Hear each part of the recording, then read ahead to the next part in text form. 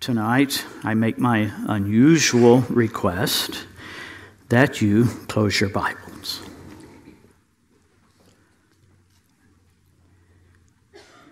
It's a custom here that on occasion, when we can, to have as a sermon the reading of a book of the Bible. We are beginning a series for Sunday night in the book of Titus. And the letter that I will be reading today was sent to someone who served under the Apostle Paul, whose name was Titus. And he was ministering in, on the island of Crete. Well, what about Crete? Crete is an island on the southeast of Greece, a long imaginary boundary between the Aegean Sea and the Mediterranean Sea.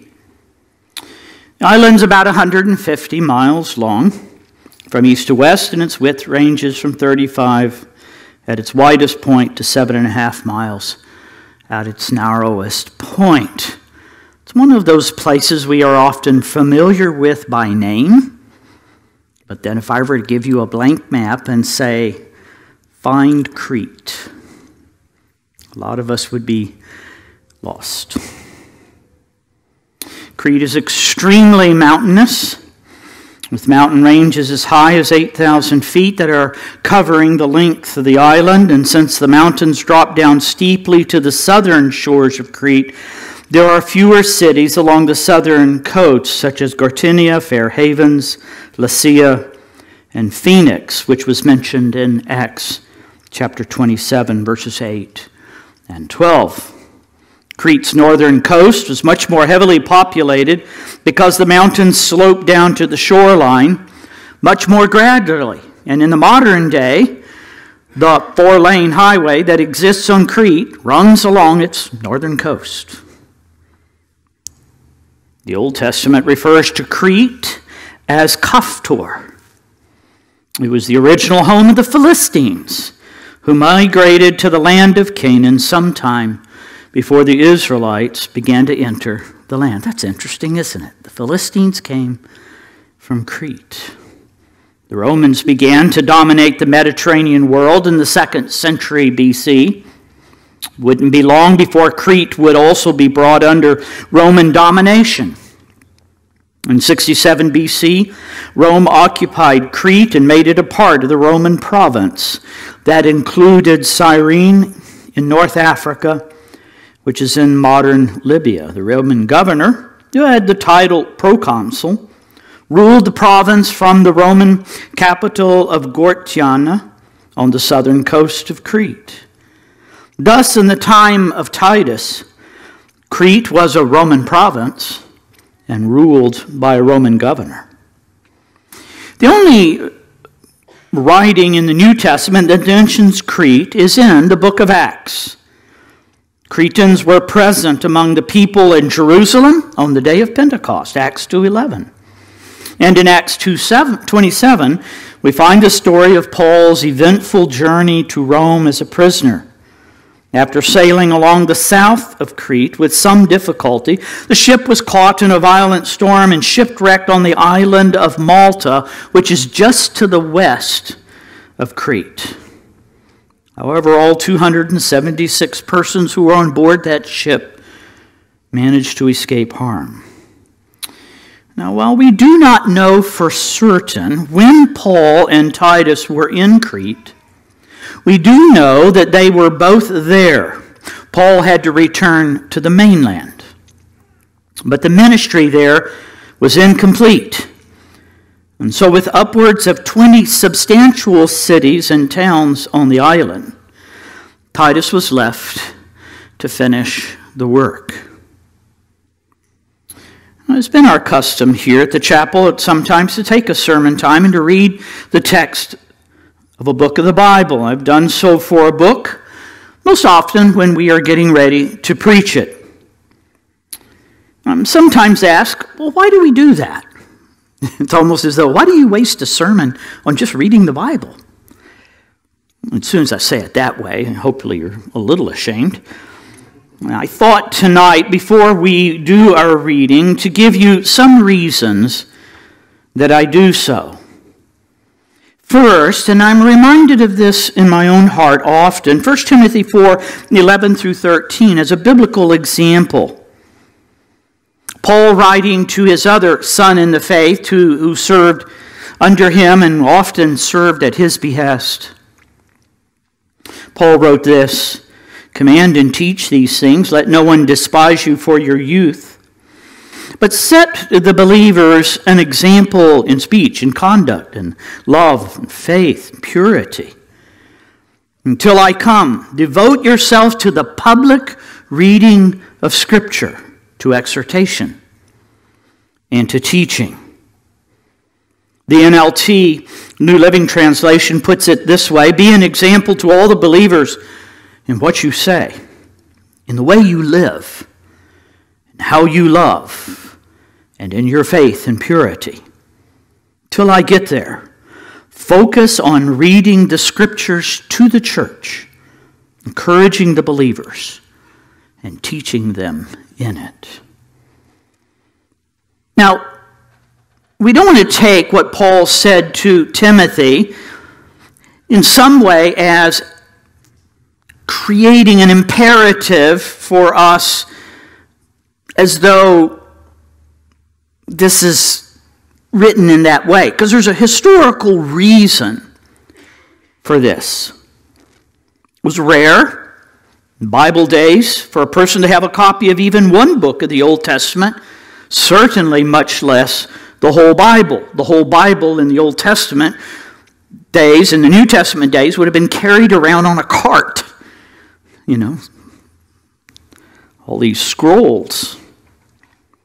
It was the Levites and the scribes, and yes, the king, who were to ensure that the scriptures were maintained, were properly and accurately copied, and were made available to those who were charged to read it.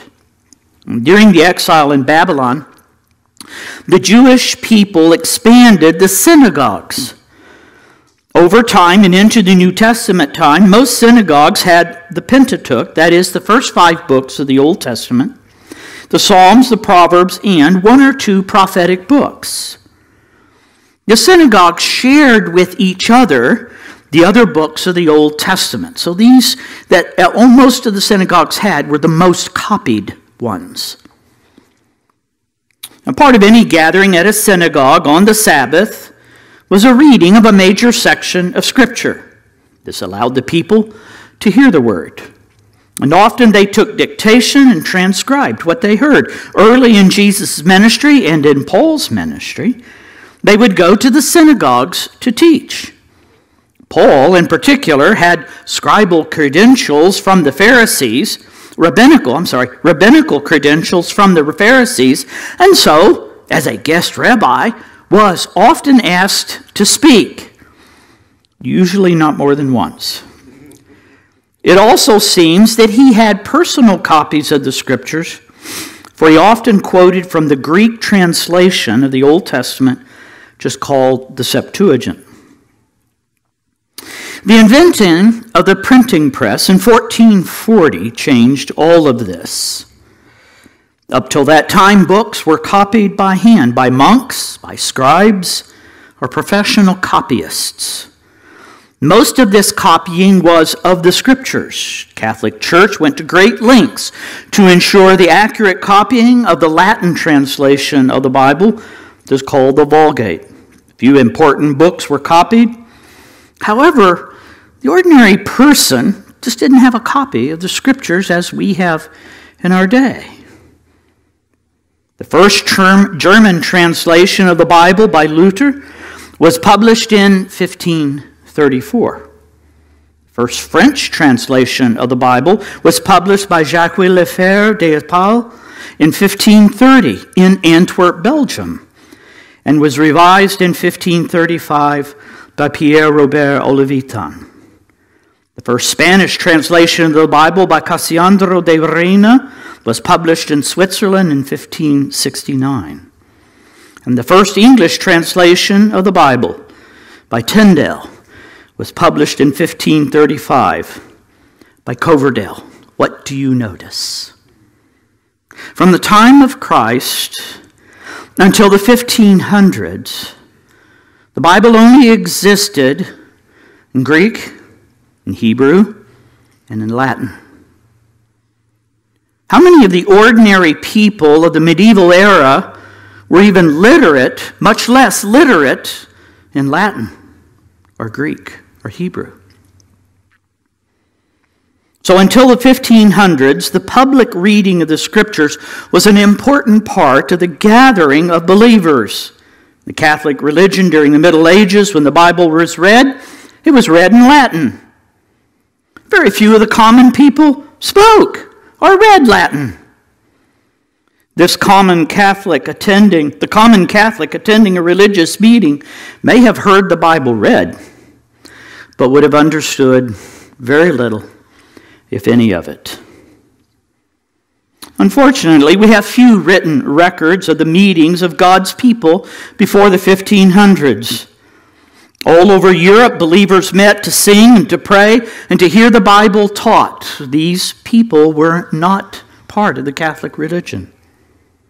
The records and books and sermons and letters of that period have largely been destroyed. What we do know is that the pastors, elders teaching the Bible were doing so from the Latin or doing so from the original languages. They did not have the Bible in their own tongue. They were reading large sections of the Bible so that those who could read and write were able to copy down what they heard. As the Bible was translated into the spoken language and was being published, more and more families were able to own a Bible, or at least a portion of the Bible. The advance of the gospel into new peoples groups has always, without exception, brought literacy with it. We are a people of the book. Missions has emphasized the importance of reducing spoken languages to writing so that the people could, within the second generation of becoming Christians, have the Bible in their own language. Now, that's the history and is the reason that Paul said, give close attention to the public reading of the Bible. This meant that those who read the Bible publicly had to learn to do so with a sense of drama and rhetoric, not read it with a flat intonation or monotone to hold the people's attention, to express the truths. Now, what we see and therefore in the Bible was driven by cultural necessity. It doesn't make it a moral imperative for us. However, when possible, it is beneficial for us then, as a church, to hear the Bible read to us. What are some of the reasons for this? First, sometimes we just need to hear the Bible in the midst of all the noise and clamor and the confusion of our day. Secondly, it highlights the centrality and the importance of the Word. It is the Word of God that primarily will shape and will transform your life. Thirdly, we hear the whole book or a major section of it all at once.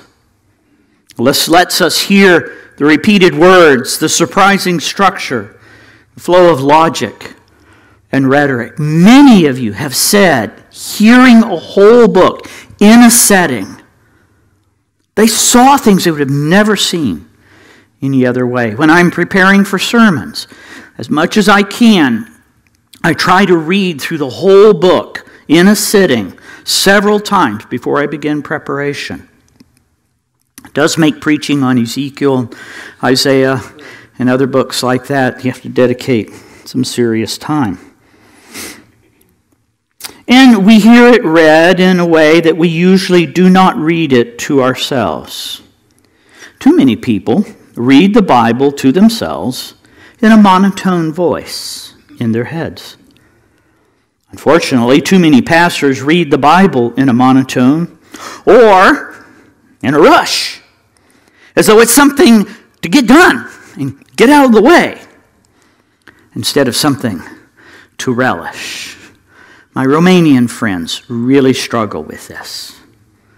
Reading the Bible very, very fast and at a monotone, and it's just though it almost feels like this is a waste of time. No, this is probably the most important thing that we will do. Now, to capture the sort of feel of the moment, of what it would have been like to have sat in a gathering of God's people before 1440, or for us in English, before the mid 1500s, I've just asked you to close your Bibles, and I'd like for you to just listen. Brothers and sisters, hear the word of God by Paul to Titus. Paul, a servant of God and an apostle of Jesus Christ for the sake of the faith of God's elect and their knowledge of the truth, which accords with godliness in the hope of life eternal, which God, who never lies, promised before the ages began and at the proper time manifested in his word through the preaching with which I have been entrusted by the command of God our Savior, to Titus. To Titus, my true child in the common faith. Grace and peace from God the Father and Jesus Christ, our Savior. This is why I left you in Crete, so that you might put what remained into order and appoint elders in every town as I had directed you. If anyone is above reproach. The husband of one wife, his children are faithful and not open to the charge of debauchery or insubordination. For an overseer, as God's steward, must be above reproach. He must not be arrogant or quick tempered or a drunkard or a violent or greedy for gain, but rather hospitable a lover of good, self controlled, upright, holy, and disciplined. He must hold firm to the trustworthy word as taught, so that he may be able to give instruction in sound doctrine and also to rebuke those who contradict it. For there are many insubordinate, empty talkers, and deceivers especially those of the circumcision party.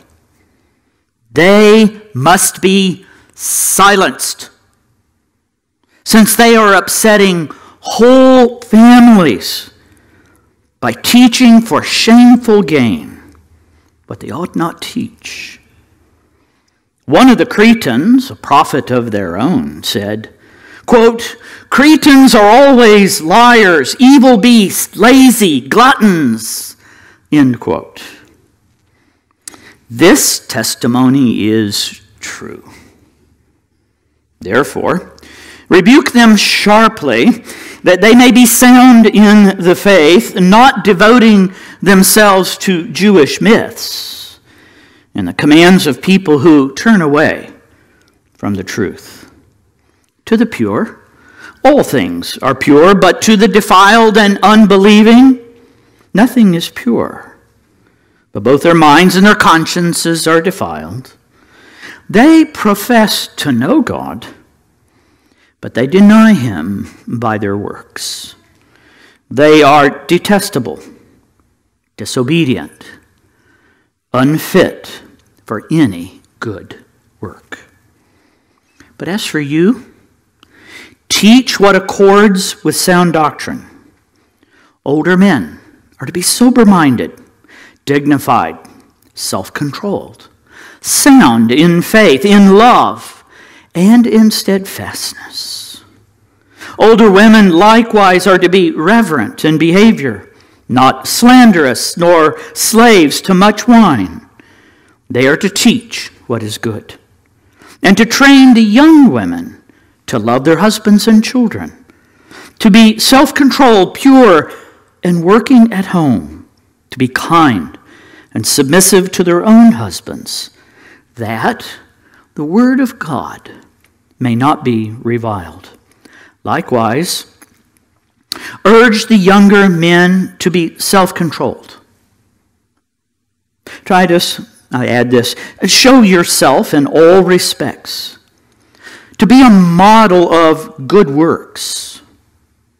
In your teaching, show integrity, dignity, and sound speech that cannot be condemned, so that an opponent may be put to shame, having nothing evil to say about us.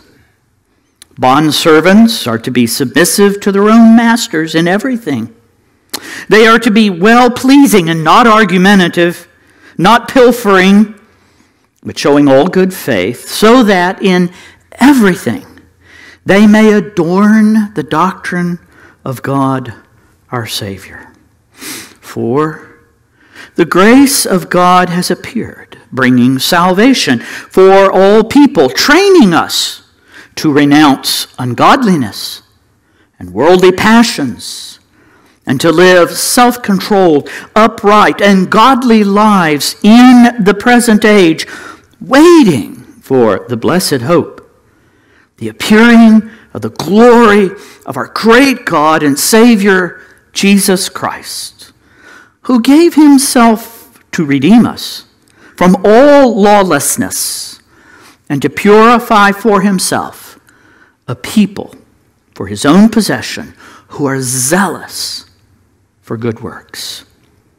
Declare these things, exhort, and rebuke with all authority. Let no one disregard you. Remind them to be submissive to rulers and authorities, to be obedient, to be ready for every good work, to speak evil of no one to avoid quarreling, to be gentle, and to show perfect courtesy toward all people. For we ourselves were once foolish, disobedient, led astray, slaves to various passions and pleasures, passing our days in malice and envy, hated by others and hating one another. But, oh, but when the goodness and loving kindness of God our Savior appeared, He saved us. Not, oh, not because of works done by us in righteousness, but according to His own mercy by the washing of regeneration and renewal of the Holy Spirit, whom He poured out on us richly through Jesus Christ, our Savior. So that, being justified by His grace, we might become heirs according to the hope of eternal life. The saying is trustworthy and I want you to insist on these things so that those who have believed in God may be careful to devote themselves to good works. These things are excellent and profitable for people. But avoid Avoid foolish controversies, genealogies, dissensions, and quarrels about the law, for they are unprofitable and worthless. As for a person who stirs up division, after warning him once and then twice, have nothing more to do with him, knowing that such a person is warped and sinful he is self condemned. When I send Artemas, Archicus to you, do your best to come to me at Nicopolis, for I have decided to spend the winter there. Do your best to speed Zenas, the lawyer, and Apollos on their way. See that they lack nothing and let our people learn to devote themselves to good works so as to help cases of urgent need and not to be unfruitful. All who are with me send greetings to you. Greet those who love us in the faith. Grace be with you all, and may grace be with us all. Father, thank you for your word. Thank you for the Spirit who inspired it, for Paul the Apostle who wrote it, for Titus who received it, and who preached it and transmitted it and exhorted from it and rebuked from it and loved his people through it and set in order the things that remained that the churches in Crete might be sound in faith and in good works. May we also continue to make progress in understanding the grace of our Lord Jesus Christ, our Savior. And may we dedicate ourselves to good works for the sake of your glory and for the good of your people. All God's people said, Amen.